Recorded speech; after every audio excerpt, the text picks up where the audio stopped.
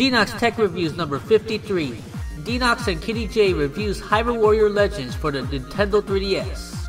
Hello YouTube, this is Denox speaking once again, and today I'm here with my female gamer friend, Kitty Jay. Hello everyone, I am Alopony as you can see. And today, me and her are going to be reviewing Hyrule Warriors Legend on the Nintendo 3DS that just came out a few months ago, on March 2016. But before we get to Hyrule Warriors Legends, my friend Kitty Jay is going to be explaining the Wii U version of Hyrule Warriors and then do a little comparison on it. So how about you get started Kitty Jay? Okay, no problem.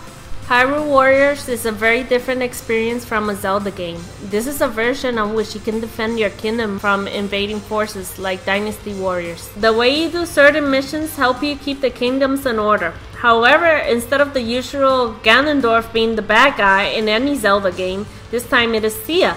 Cia is a witch that is very much obsessed with the hero of time, also known as Link. She wants to own him and have him by her side forever. She wants to disrupt the cycle of the hero of time and the other cycles of the Triforce. As for non-DLC characters that you can use, I always use Princess Ruto and Ghirahim. They are both fast and their specials are fun to use to destroy hundreds of enemies at once. To unlock them, you need to do special missions in the game using any of the special maps, which include Master Quest map, Twilight map, and Termina map. You can beat the main story, but you won't unlock them unless you do this. The missions are fun and challenging. I remember one of the missions that I played that you had a certain amount of minutes to kill a certain amount of bad guys in order to unlock one of the characters. Using the DLC characters, I was thrilled to find out that Twilight Midna was coming out.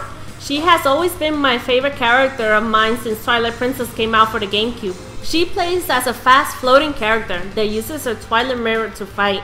She was the first character that I maxed out in this game. Overall, this is a great game to play with the DLC. However, once you're done with everything in the main story and the DLC, I found it hard to replay the game from the start. So I finished the game and I didn't touch it until Hyrule Warriors Legends was announced.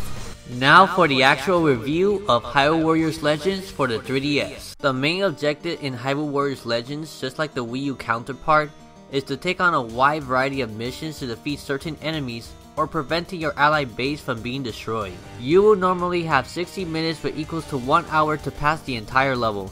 I say that sure is plenty of time to do everything you have to do. There are levels that will require you not only to ensure that the ally base does not get taken over by enemies, but also sometimes you must prevent certain characters from dying. If you fail to protect any of them, then you are defeated and you have the option to start the level again from the beginning or continue from your progress from the last checkpoint.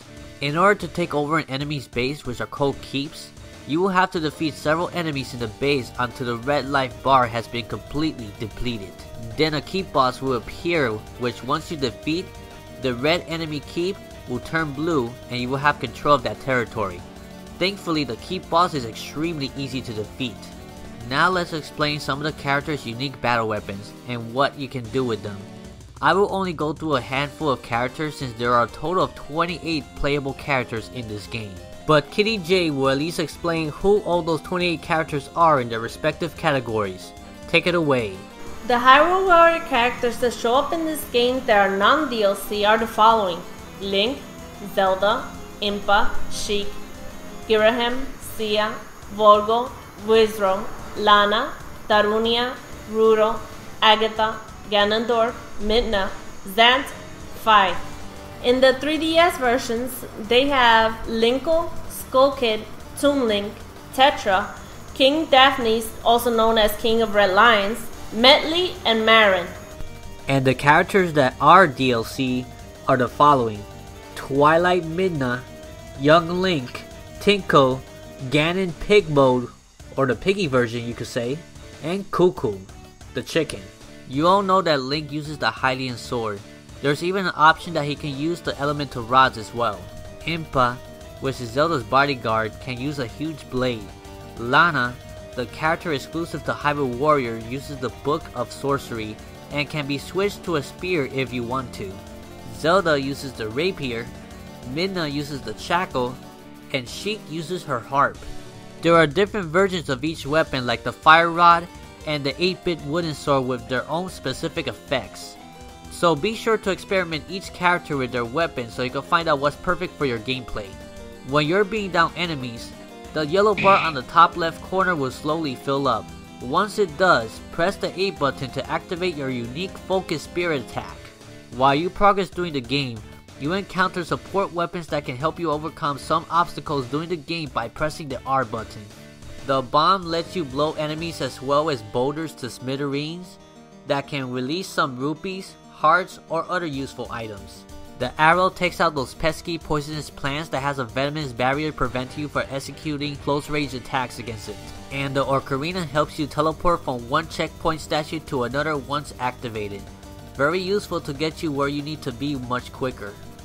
The music in this game were actually ripped directly from the Wii U version of Hyrule Warriors, and it actually sounds great and in great quality.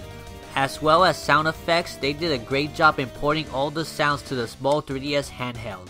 Well, you know it's obvious that this being the 3DS version that the graphics are downgraded from the Wii U version. But honestly, while playing this game, I have noticed that some of the graphics are quite blocky and pixelated. It still looks decently well for the 3DS version and was able to blend in just great. But like many people say, graphics does not make the game. This game is still fantastic itself. You can play Hyrule Warriors Legends in three different ways. One is the Legends mode that lets you experience the whole story of the series. In free mode, you can play any stages you want with any characters you want. This sure is a good way to level up certain character that hardly ever appears in Legends mode. And last but not least, Adventure mode. It features a retro style mode where you have to find and defeat the Dark Ruler. It helps you to acquire heart containers, new weapons, power up your warriors, and also unlock new warriors to add to your roster. In between missions and by pressing R, you are able to access the bazaar which gives you the opportunity to pay rupees to gain new badges to power up your characters, and the training dojo to pay rupees to level up a few levels. The Apothecary allows you to take mysterious mixtures that can be usable for one full battle. Then there's the Smithy, where you can fuse weapons to have additional special effects that you can modify you do have to pay some rupees to fuse the weapons though. You are also allowed to remove and appraise skills as well as selling unneeded weapons. In the start screen of Hyrule Warriors Legends as well as the Wii U counterpart, you may scan any amiibo you want to receive different random items, weapons, and rupees daily. Although you could only receive 5 different items daily from 5 different amiibo scanned. Also, if you scan a Link, Zelda, Toon Link, Ganondorf, or Sheik amiibo, you can receive specific weapons for the specific Zelda amiibo you have scanned. To conclude this review, I really enjoyed this version of Hyrule Warriors and I hope to get to the Wii U version soon enough, even if it's pretty much the same game with enhanced graphics. Sadly, I do not own the new 3DS to fully enjoy this game like it was meant to be, but regardless, it's still quite playable on my 2DS. Thankfully, Kitty Jay gave me the opportunity to use her new 3DS to compare the performance of the game between my regular 3DS and her new 3DS as you can see here. The game runs smoothly on the new 3DS, however the huge difference to play it on my normal 3DS was very noticeable. The lag kept me from wanting to play it on the normal 3DS. Apart from that, I was enjoying this version more, due to the many improvements of the game itself. It wasn't as confusing as the Wii U version when I played it. In the normal game, it didn't explain how to get the new weapons or costume. I was lost for a while until I looked up a guide online in order how to do it. You can change characters on this version of the game and thus are able to multitask the missions. On the Wii U version, you couldn't change the characters. The AI characters have improved in keeping their support throughout all the forts, and they can handle harder enemies than they could in the Wii U version. I played for a few hours with all the modes and such. This one beats the Wii U version by a long shot. Apart from the game looking beautiful, the main characters are much more helpful and the map system has been improved immensely. If you are a fan of the original Hyrule Warriors and the Dynasty Warriors franchise, you will feel right at home with this game. I do notice some lags once in a while when playing this game on my normal 3DS, but at least it's not to the point that it's completely unplayable, so just tell you so you won't be discouraged from playing this game just because you do not own a newer 3DS. So we give Hyrule Warriors Legends for the Nintendo 3DS an 8 out of 10. This game is an expansion of the original Hyrule Warriors on the Wii U, on a smaller handheld system. Works well. If you enjoyed this video, be sure to check my other previous videos as well and subscribe to the channel for more contents like this. And join our new Facebook community called the Denox Series Fan Club where you can meet new people who are into tech, Nintendo, anime, amiibos, and related. See you there!